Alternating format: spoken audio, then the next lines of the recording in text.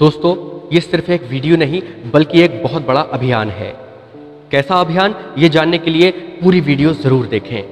दोस्तों, हमारी आपसे गुजारिश है कि भिखारी को खाना और पानी दें, लेकिन नकद में देने के लिए एक भी रुपया नहीं। मुंबई, पुणे और पूरे महाराष्ट्र में एक अलग आंदोलन शुरू हो गया है, चाहे वो किसी भी तरह का भिखारी हो।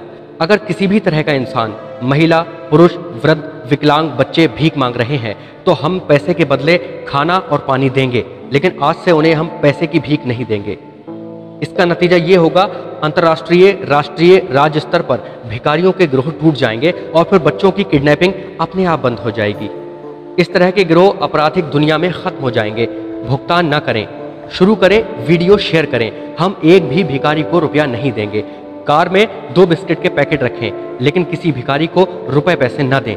अगर आप इस अभियान से सहमत हैं तो इस वीडियो को कम से कम तीन ग्रुप्स में शेयर ज़रूर करें। क्योंकि किसी माँ बाप के कलेजे के टुकड़े को किडनैप होने और फिर उनकी दुर्गति होने से बचाने में आपका सिर्फ़ एक शेयर बहुत ज़्यादा माने रखता है।